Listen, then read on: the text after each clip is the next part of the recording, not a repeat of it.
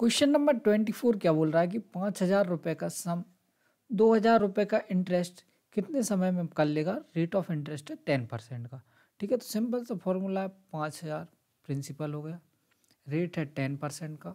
Time निकालना है अपन को टी मान लिया अपन ने अपॉन हंड्रेड इक्वस टू क्या बताना है? टू थाउज़ेंड ठीक है, ये तीन ज़ीरो से, ये तीन ज़ीरो काट दो, ये एक ज़ीरो से, ये एक ज़ीरो काट दो।